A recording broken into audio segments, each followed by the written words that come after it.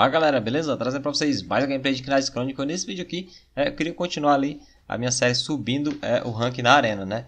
Então, vamos lá. É, eu ganhando mais essa partida aqui, cara, eu passo pro especialista. Deixa eu ver aqui, só pra confirmar. É isso mesmo. Passando essa daqui, eu já passo pro especialista, né? A arena vai resetar amanhã. Então, tem que fechar logo isso daí pra tá é, pegando um prêmio melhor. É, eu consegui colocar a passiva da 60, né, da Shishire. É, então deu uma melhorada boa ali, ela se auto-ressuscita, 30% de HP. Essa daqui, ó, que é bem interessante. Ó, ela se auto-reanima, né, com 30% de HP. É, uma vez por batalha. Ao ser reanimado, lança uma maldição de 30% do ataque em todos os inimigos por dois turnos. Então é uma coisa muito bacana. Ela, além de se auto-ressuscitar, taca a maldição em todo mundo. É, aplica véu fantasmagórico a um aliado, exceto para ela mesma, né? É, por um turno após um ataque crítico bem sucedido. Então é uma passiva aí bem legal. Vamos lá, pegar um time aqui e ver é, como que eu me saio, né? Bom, vamos lá, peguei um time até interessante, cara, bacana. É a primeira vez que eu enfrento o Cloud na arena. É, vamos ver, né, se eu consigo matar ele. É, temos o Mega Man aqui, né, que a galera costuma apelidar. É, já que ele é fogo, vou tacar selo mental aqui é, nele, né. Primeiro vai causar um dano é, a mais. E já vi que o Cloud, enquanto nos outros ali causou quase 2000 de dano, no Cloud só deu 800, né? Então já vi que o bicho deve ser aguentar muita porrada. Ele é um dos tanques mais incríveis assim que eu vi é, do game, pelo menos a meu ver, né? Quando eu li as kills, passivo e tudo, ele é muito completo, cara. É, e não é à toa, né? O pessoal fala bem demais dele. Beleza, só ganhar mais essas partidinhas já mudo de rank. É, e ele tem ataque em área, né, cara? Como vocês viram aí, ele, o ataque dele já bate em 3 direto. Beleza. Uh, já tá precisando de cura ali. Vou aplicar véu fantasmagórico nela ali. Que é pra elas não morrer agora. A Shishire tem...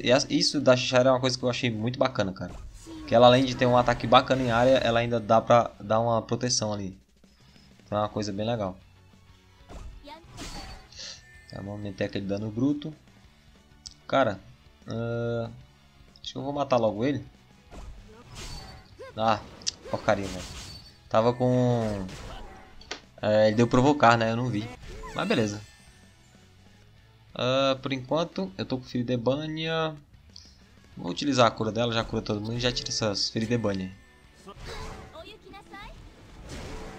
Ó, ele usou provocação. Ele tem muita provocação, cara. Então, é... Provavelmente vou ter que matar ele pra tentar acertar os outros. Né?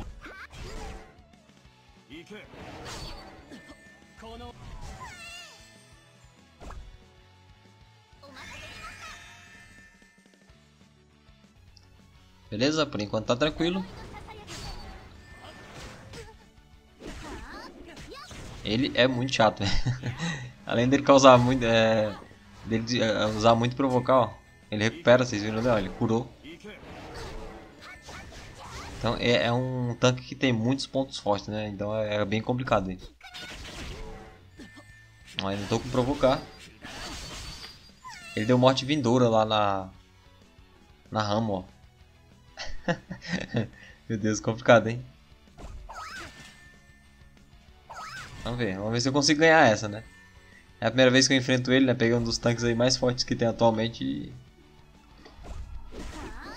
Caraca, velho, não tô nem acertando ele. Então, fiz um cortezinho, né? Passei alguns turnos ali. É pra ficar tão longo o vídeo, né? Igual foi o último. É, então, como vocês viram aí, ó. A minha Shari morreu, voltou, aplicou maldição em todo mundo. Aí consegui matar o Mega Man. Consegui matar o Ashley. E vamos agora poder ressuscitar ali com a, com a Ram, né? Já caiu dois. E por enquanto tá tranquilo, cara. Já matei a mina uma vez, ela já se auto-ressuscitou, né? É... O outro lá também já gastou a ressuscitação dele, o... Eu esqueci o nome dele, o Deimos, né? Aí, por enquanto tá tranquilo. Olha lá. É, agora eu vou poder ressuscitar, né?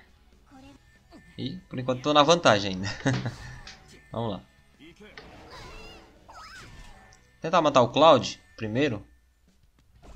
Agora que já deu, é, já tá pro turno 70, né? Então o DPS já aumentou legal ali. Olha lá, já foi pro saco. E acabou, cara. Muito bom, cara. Então, consegui mais uma vez aí acabar é, com 5 de pé. É, o que acontece? Esse meu time tá um pouquinho chatinho porque eu tenho a Ramo que ressuscita, a Shishari se auto-ressuscita. É, a Mary também se auto-ressuscita. A Karen ressuscita na passiva.